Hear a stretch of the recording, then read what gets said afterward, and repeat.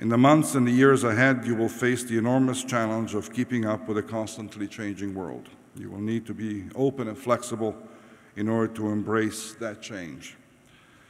The winds of change will blow, up, blow you off course if you're not anchored by a core set of values. And while circumstances may change around us, values are not negotiable.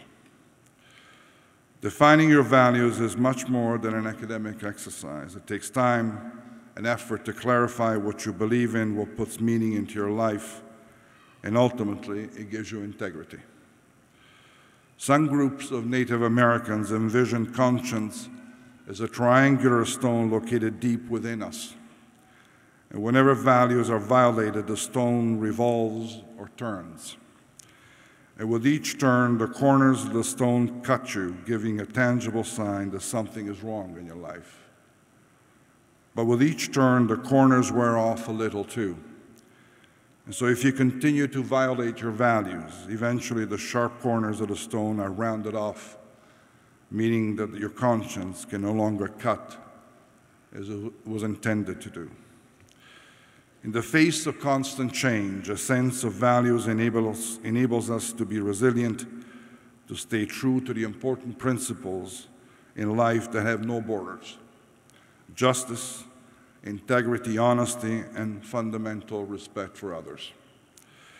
It is important that when we exercise the privilege of making choices, we do so with rigor and with commitment and with full awareness of the consequences that it can have. Commitment and rigor, together with a strong set of values, have been at the center of Chrysler's turnaround. The recent experience that our company has been through could, in some ways, be helpful to you in your own personal lives.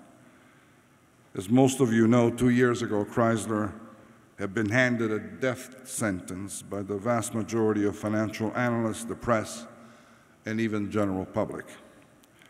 But instead of accepting this death sentence with the help of President Obama's administration, we rolled up our sleeves and worked intensely to transform our organization and our culture. And we succeed, succeeded in launching 60 new products in only 19 months, renewing 75% of our product portfolio. Our market share is increasing, and last Monday, Chrysler announced its first quarterly net income since the company began operations in June of 2009.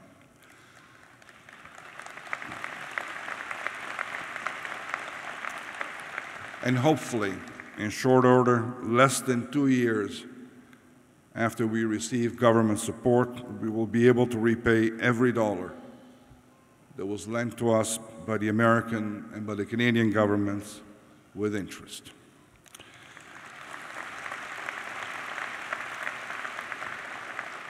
I'm not, I'm not saying these things to brag about our accomplishments because that's not our style. We know that we still have much to accomplish with earnest commitment and, more importantly, with humility.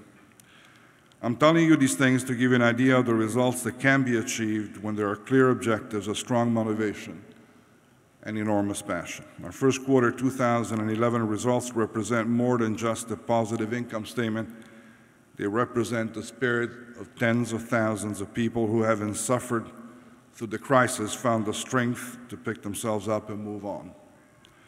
They're a testimony to the pride of Chrysler, a company that went to hell and back and is determined to regain its rightful place in the global automotive landscape. They are manifestations, above all, of the mentality of the team of indiv individuals who are leading the business today. These are courageous individuals with a hunger for challenges and the will to shape their own future. Individuals who are not victims of change, but instead seek it out and often initiate it. Men and women who understand the concept of service, of community, and of respect for others. Men and women with the extraordinary capacity to bring out the best in others help them build self confidence and grow as professionals, and even more importantly, as human beings. These people are the real architects of Chrysler's turnaround, and they're also the best guarantee of our future. And so, as I look out at this arena, as I look at your graduates, your families, and your friends, I think of the historical moment we're living through as you receive your degrees. We need to realize that we are now at a crossroad, and this makes our choices even more important. This is a crucial moment, and the world couldn't need your talent and energies, your passion, and your commitment more. The education you have received doesn't just serve you or your family, it also serves the community as a whole.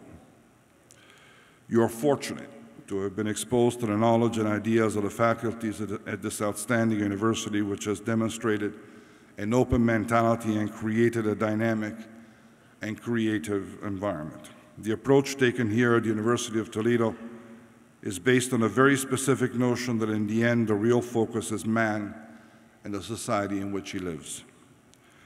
This was Albert Einstein's exhortation more than 70 years ago when he said that one should guard against preaching to young people success in the customary form as the main aim in life. The value of a man is in what he gives and not in what he is capable of receiving. The most important motive for work in school and in life is pleasure in work, pleasure in its result, and the knowledge of the value of the result to the community. Einstein was right, because focusing on oneself is a very, very limited ambition.